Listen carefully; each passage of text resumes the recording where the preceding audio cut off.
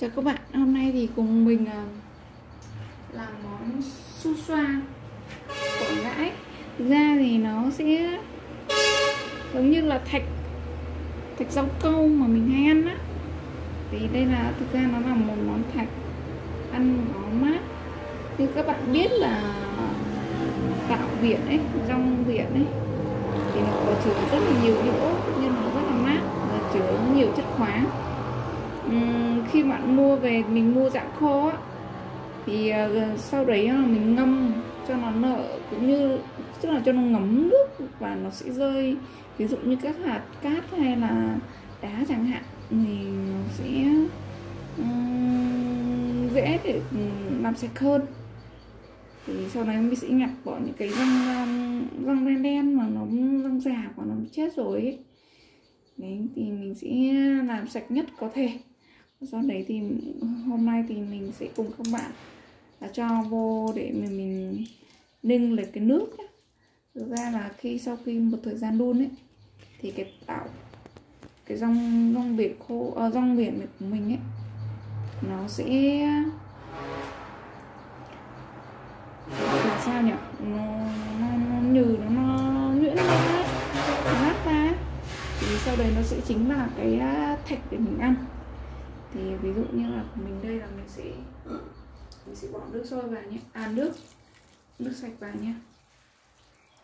Bạn sẽ bỏ sắp sắp mặt mà rong biển. Rong biển này thì mình nhờ một bạn. Nhờ một bạn bạn ấy mua ở trong Quảng Ngãi cho. Thế bạn ấy giới thiệu rất là ngon. Với lại nhà mình thì lại mùa này mùa mùa hè, rất là hay bị nóng nóng trong người ấy. giống quảng cáo á thì thế là mình mới nhờ bạn ấy mua cho.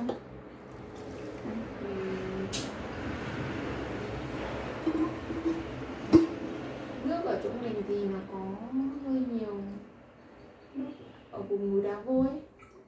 Nên toàn phải dùng nước lọc nước lọc thôi. Chứ không hiện tại chưa có nước máy nước sạch chúng ta phải dùng bình lọc ờ, ok mình sẽ đun nó lên. Khi bạn đun sôi đun sôi thì bạn mình riêu giống như mình ninh nhưng làm sao cho nó như hết cái phần rong biển này.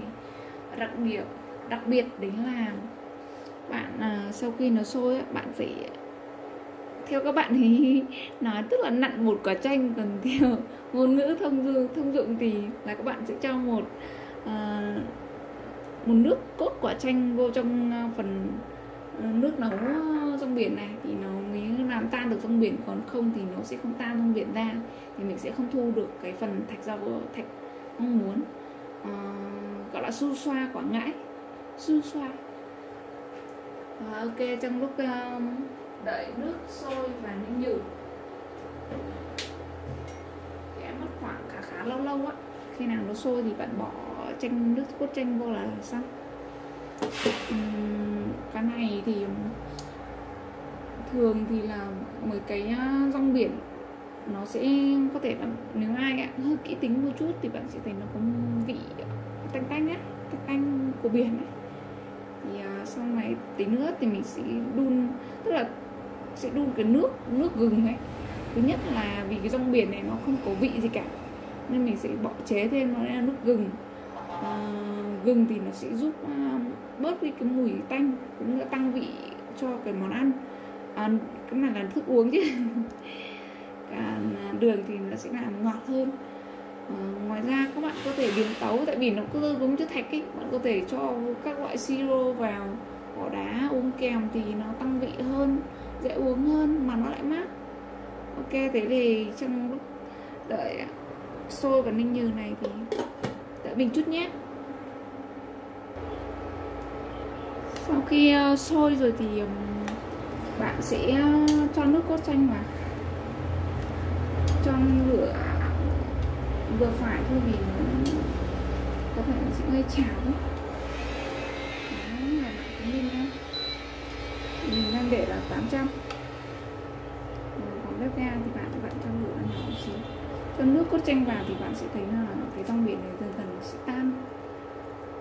Tan vào nước.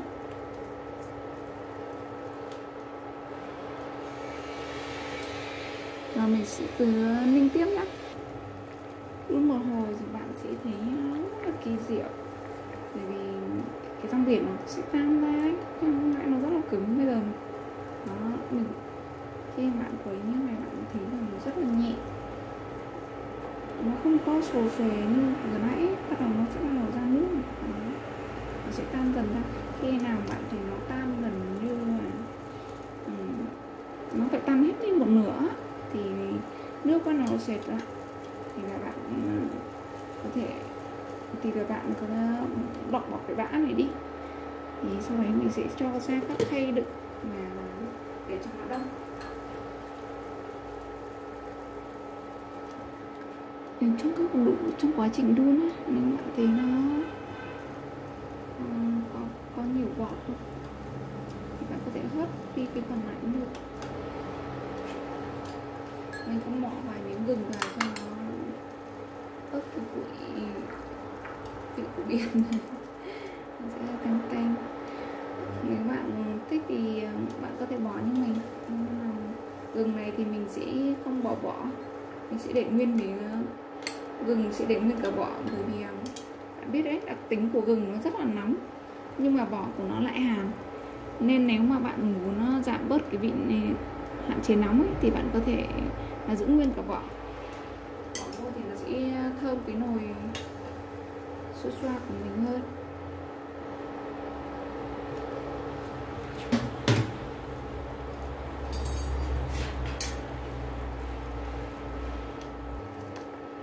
Bạn đun thấy uh, bắt đầu nó chỉ còn lại một xíu nữa thôi, còn đâu là nước ấy. Bạn thấy nó xanh xanh sệt sệt chưa?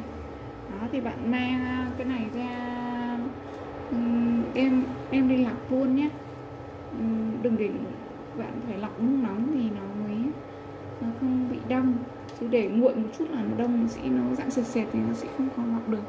Rồi mình sẽ mang đi lọc nhé sau khi lọc thì bạn tí cái phần nào phần cặn nhỏ ấy nó nó chưa được lọc sạch hết thì nó sẽ nắng ở phía đáy bạn nhìn thấy nó hơi sẫm màu đó mình cho nó ô rất là to.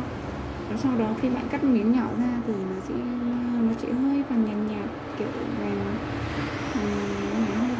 tức là trắng trắng hơi ngả trắng hơi ngà một chút thôi. Chứ nó không có màu đậm đậm như này đâu. Ok chúc các bạn uh, ngon miệng nhé. Còn về còn về nước đường thì bạn chỉ cần là thái á thái gừng ra. Thái gừng nhỏ ra rồi ừ, bỏ vô nước đường đun sôi. Là mình có thể dùng ăn chung được.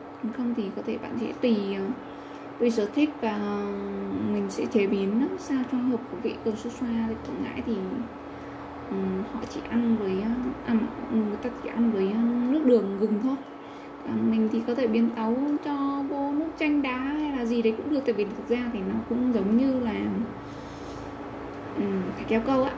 Thế nên là nó cũng chỉ là làm một topping cho bạn. Ok chúc các bạn ngon miệng.